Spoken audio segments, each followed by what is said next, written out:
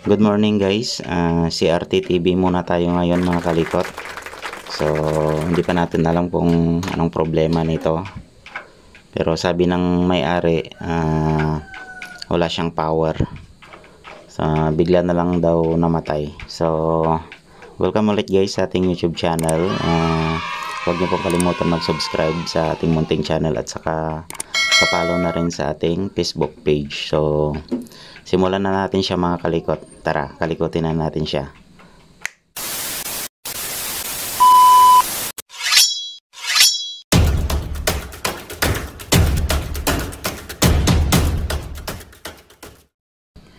Bago ang lahat mga kalikot, uh, isa-shoutout muna natin yung mga masugid nating taga-subaybay. Uh, shoutout kay Sak Takay. Shoutout rin kay KG11. At saka kay Joe York. At saka shoutout rin kay Andy Acosta. At saka kay Dali Music 04. So maraming salamat guys sa suporta. So umpisa na natin siya mga kalikot. Bali, natis na natin siya kanina mga kalikot. Uh, pinower on natin siya. Uh, may power naman kaso wala siyang output. So, bali, magpo-focus na lang tayo dito sa may secondary line niya. Kasi dito may power naman siya sa primary niya. So, wala nga lang siyang output.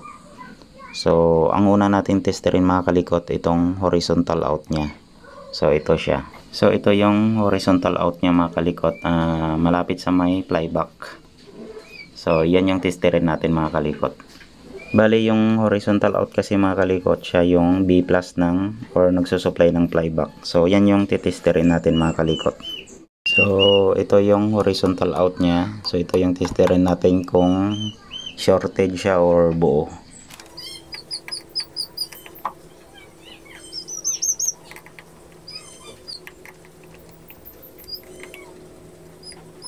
So, bali buo naman yung horizontal out niya mga kalikot. So, check rin natin yung mga fusible niya. At saka marami siyang lost connection. So, siguro pan ito. Uh, lost connection na to eh. Umangat na yung isang paa ng pyesa. So, try muna natin siyang i-resolder mga kalikot. Yung mga lost connection niya. Bali, hinangin ko muna yung mga uh, lost connection mga kalikot uh, bago tayo mag-proceed sa uh, next step natin.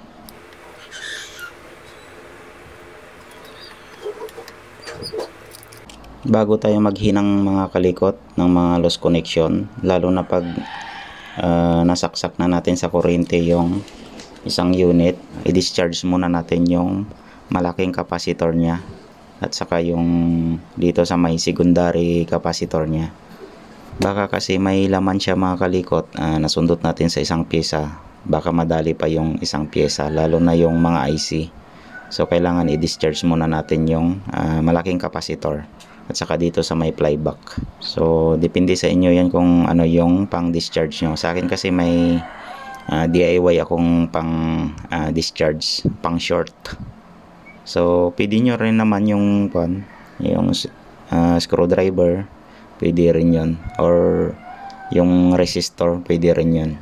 Sa akin kasi, uh, ilaw yung pang discharge ko or pang short ko ng uh, malalaking capacitor. So, DIY lang siya.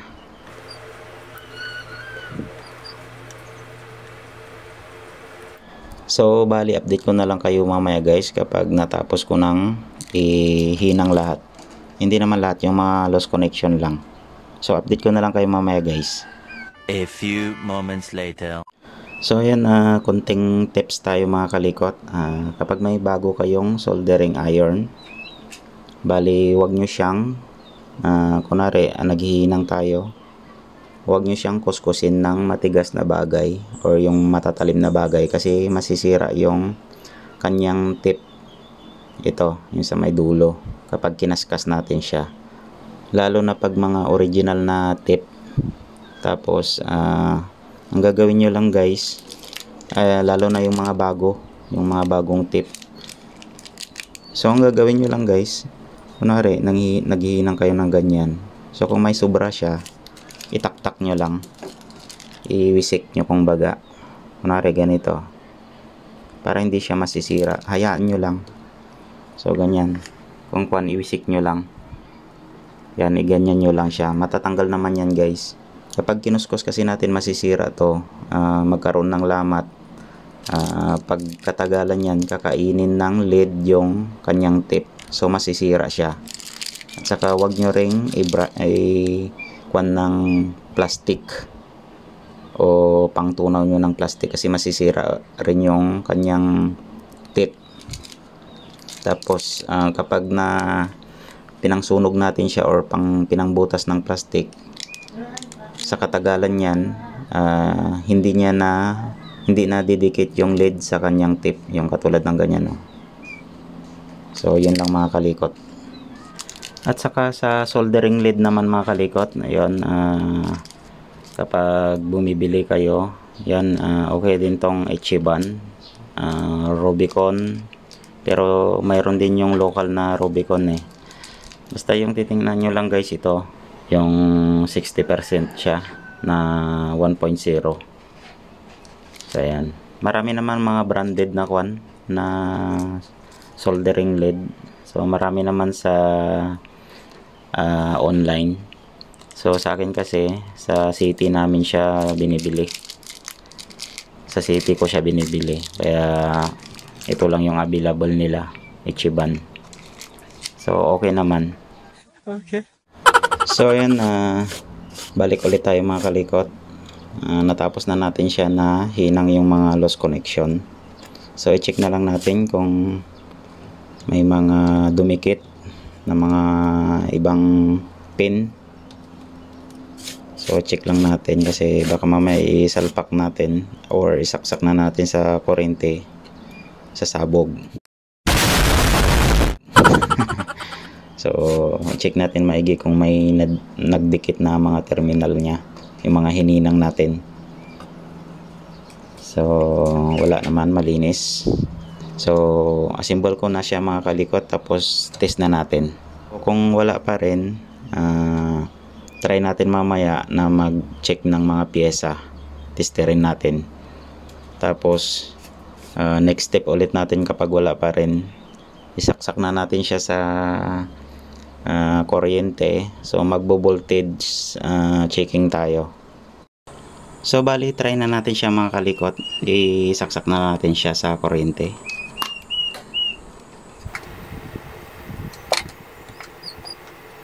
So bali ganun pa rin siya mga kalikot. So try na natin mag ah, voltage ah, checking. Ah, tingnan natin kung ah, may lumalabas na voltahe doon sa may secondary niya. So, try naman natin mag ah, voltage ah, checking mga kalikot. So, bali isi-switch natin siya. Or isasaksak na natin. So, ako kasi mga kalikot, ah, may DIY tayong ah, switcher. Or apakan mo na lang siya. Ah, nakarekta na yung ah, switch niya dito.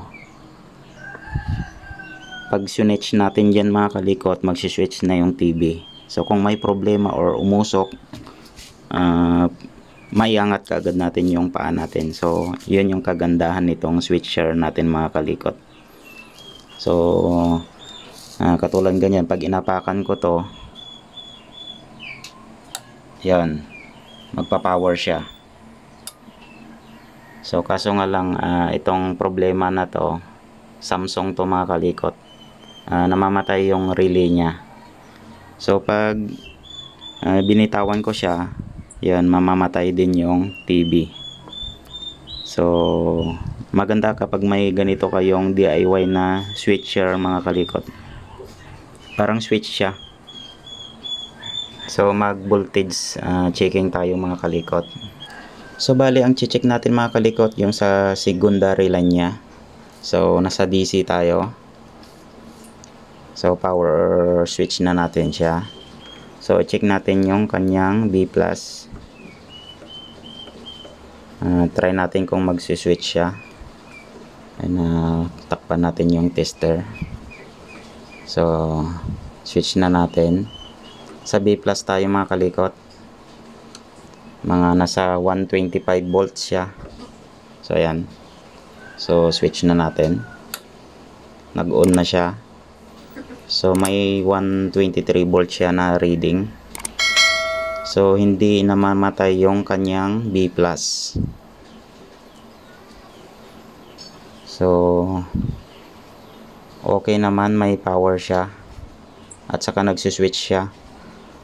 Ah, try naman natin yung kanyang ah, yung 180 volts. So, ito. Ah, check natin kung mag-oscillate siya. So, switch na natin. So, ayun, may 180 siya kaso bumabagsak. Bumabagsak yung reading niya. Hindi ata kita yung tester natin. So, switch natin ulit. Ah, test natin yung 180 volts niya o 185 ata yun. So, switch na natin. Yun, nag-oscillate siya. May 180 kaso bumabagsak. So, ibig sabihin nag-oscillate siya kaso lang namamatay. So, check naman natin yung voltahe ng screen niya. Yung G2. So, kita ba yung camera natin? Ay, yung tester. So, yan. So, switch natin. So, nag-switch na siya. So, ayan, may 150. 150 plus. Pero namamatay siya mga kalikot. Subukan natin ulit. Yun, 174.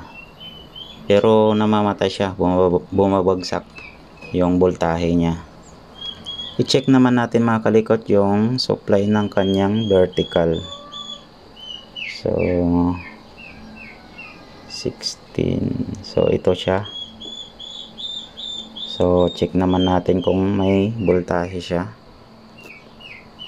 So, switch na natin. Yun, okay naman. Meron siya. 13, negative 13. Tapos, yung positive niya. So, dito. So, ito. So, check naman natin yung positive ng ay, positive ba to? Ayan. So, switch na natin. Ayun. Mayroon, kaso namamatay siya. So, switch natin ulit. Yun, 14. Mayroon naman yung vertical niya.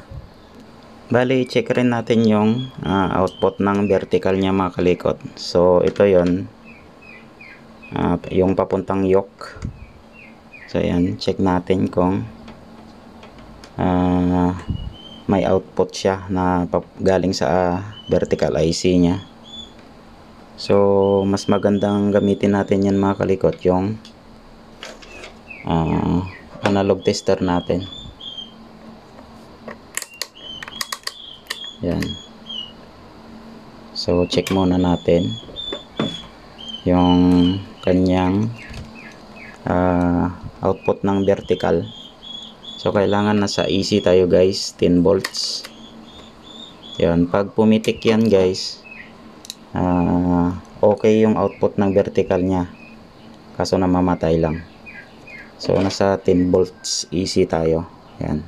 Sa AC. Yan. Check natin kung ah, may output siya.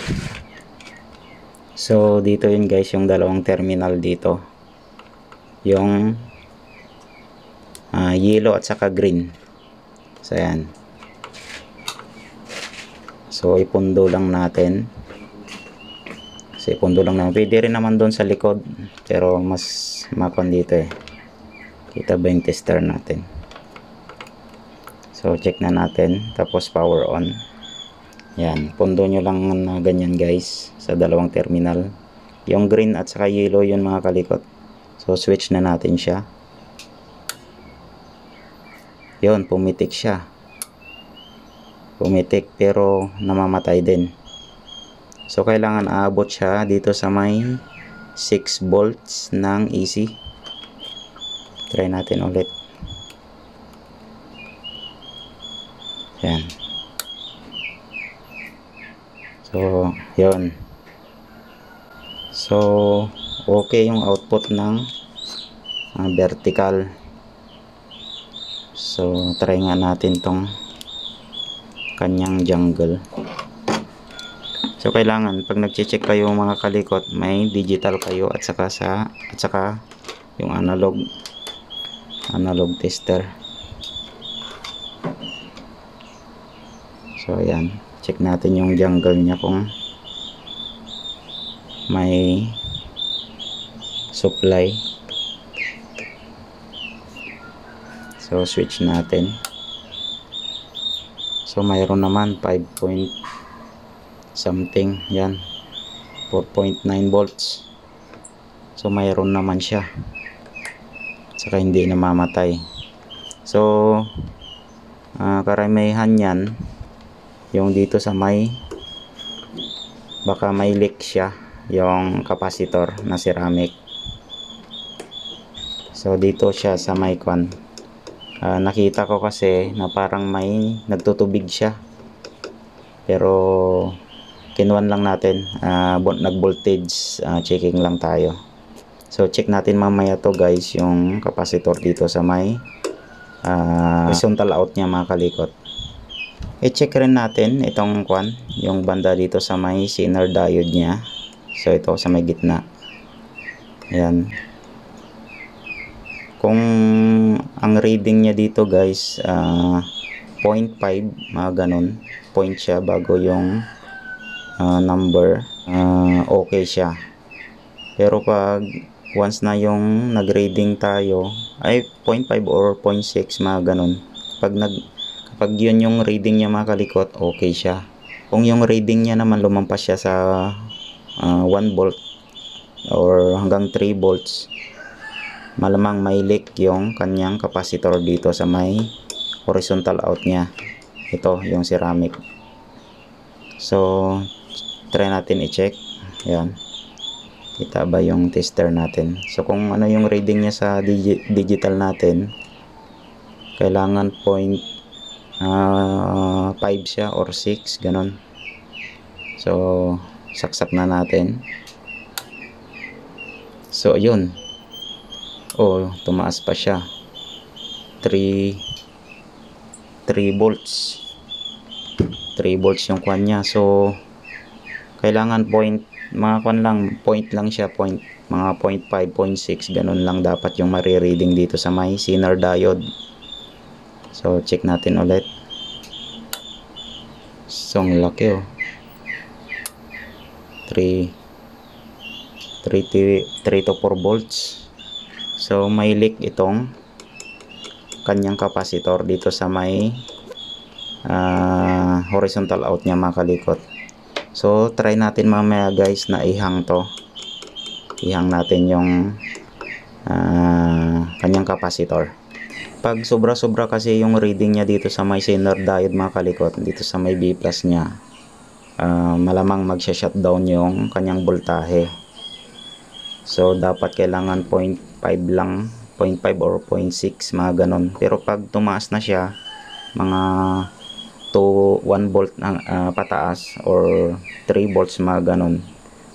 Ah, ibig sabihin niyan, may leak na tong kanyang ah, ceramic capacitor. Yung kulay blue dito sa may ah, terminal ng ah, horizontal out. So, try natin mamaya ihang to guys tapos testerin natin ng analog tester.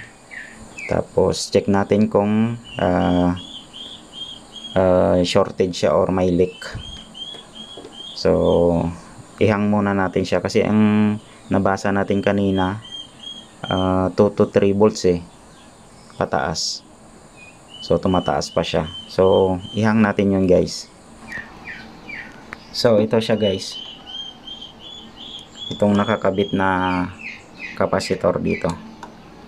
Yan. Yan yung ihang natin. Tapos testerin natin ng analog tester para sa checking capacitor natin. So, mas maganda kapag may tester tayo na naka, ah, may reading siya na 100k 100k ohms. Para pang test ng mga capacitor lalo na yung ceramic kasi pag yung ito yung 1k lang siya times 1k ah, baka hindi niya kaya. So mas maganda yung kung may 100k siya. So i-short muna natin yung capacitor na malaki. Baka masundot natin sa ibang pyesa.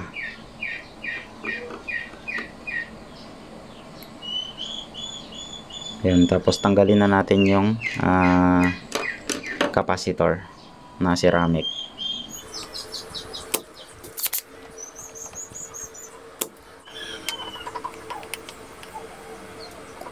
So, bali natanggal na natin siya guys. Ito siya. Yung kwanto eh. ah, 681. 681K. So, bali pangalawang bisis ko na naka-encounter ng ganito. Ah, dati sa Maynila. Kasi po, dati puro CRT yung mga inaayos ko doon. So, ayan na nga oh. Ah, nag-yellowish na siya. Yan. Iba na yung kulay niya. Tapos, dito sa board niya, sa likod, may basa-basa siya. Kaya, parang oily. Kaya nag-doubt ako na yun talaga yung kwan niya, yung problema niya. Kasi ito yung kadalasan na sira ng Samsung. Yung namamatay siya. So, bali, itis natin siya sa analog tester natin. So, ayan, nasa 100k tayo. Tapos, kailangan kasi ito yung yung ceramic na to mga kalikot. Ah, kailangan kunting pitik sana lang yan. Kunting pitik. Pero pag masyadong makuan yung pitik niya, may problema yung ah capacitor. So, testerin na natin siya. Yon. Talagang kwan siya. Ang laki ng kwan niya. Reading niya. Tanggalin muna natin tong cover niya. So, kailangan kunting pitik lang sana yung parang ah, ganun lang. Tapos babalik ulit. So ayan no, hindi siya bumalik guys.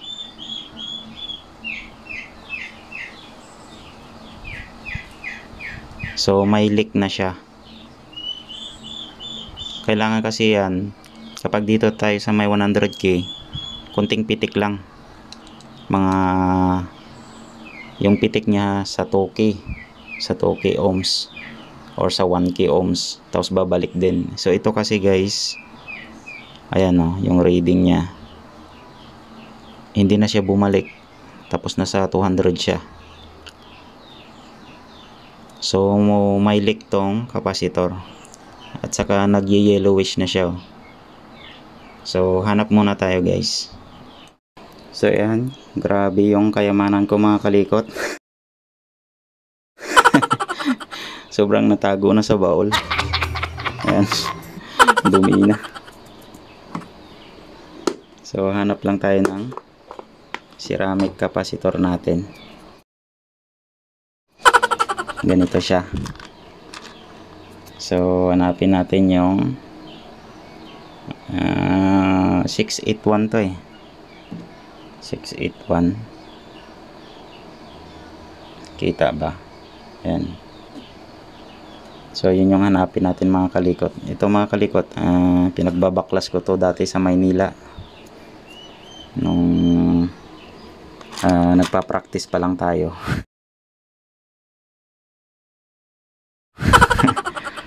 so at least na napapakinabangan. So halos ah, nabaklas ko to sa CRT TV din. Kasi bihira pa yung mga flat dati, flat screen TV. So hanapin muna natin siya guys. So update ko kayo mamaya. So ayan, ah, may nahanap tayo mga kalikot. Ah, same lang talaga sila. Ah, 6 681K. Tapos 2KB siya. Ayan, kita ba? Wait, ah, focus natin. Hindi ata kaya. So, kabit na lang natin to guys. Or testerin muna natin siya. So, test natin yung dati. Tingnan natin. So, ayan. So, may reading siya hanggang 200. Yan o. Hindi na bumalik. So, try naman natin tong ah, bagong hanap natin. So, test na natin siya.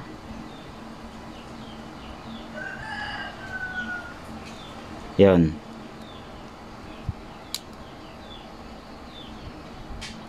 Yun. Yung, yun yung sinasabi ko, yung pagpitik lang siya. Kunting pitik lang. So, try natin ulit. Yun. Hindi talaga latado na pumitik pero konti lang.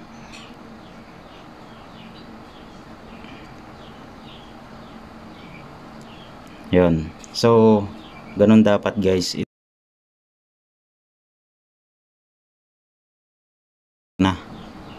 Kita ba? Yan o. Nasa 200 ohms siya.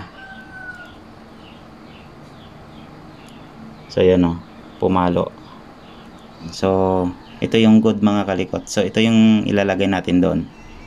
So, bali try na natin.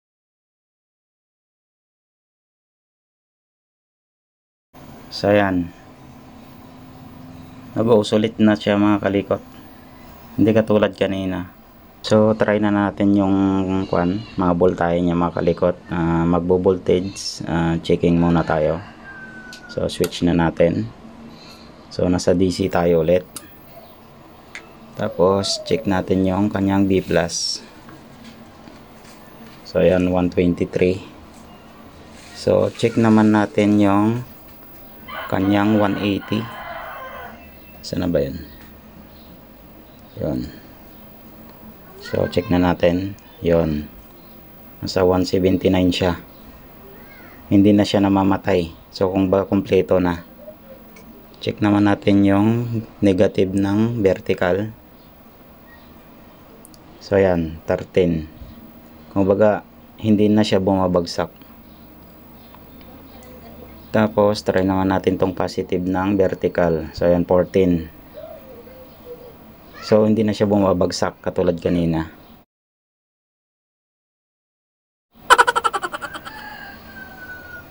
So, okay na siya mga kalikot.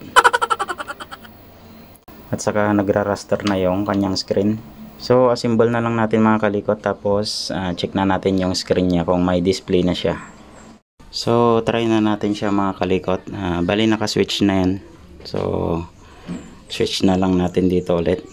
Dito. Check na natin. So, nag-power na siya. So, yun. So, may display na siya mga kalikot. So, yan. So, okay yung ginawa natin mga kalikot. So, yan yung kadalasang ah, sira ng ah, Samsung CRT kapag yung nag-auto shutdown siya. Tapos nagtitiktak yung kanyang relay.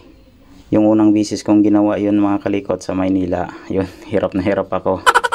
Kasi ah, baguhan pa lang ako dati. Tapos yun, ah, tinuro ng ah, master ko. yung mas matanda sa akin. Kasi ah, kakagraduate ko lang ng college dati. So, yun, na tinuro sa akin.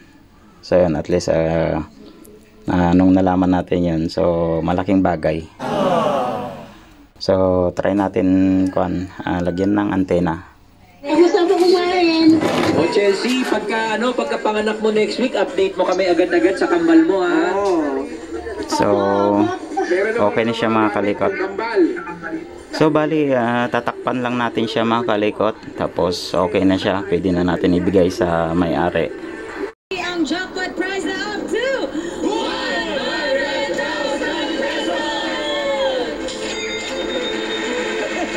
So maraming salamat ulit guys sa panonood ng uh, mga video natin.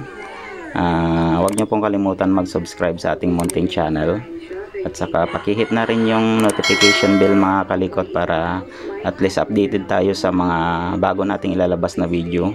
At saka maraming salamat rin sa mga bagong nag-subscribe sa ating munting channel. Maraming salamat sa pagsuporta ninyo guys sa ating munting channel. So, ah, God bless sa inyo. So hanggang dito na lang ulit guys ang episode na to.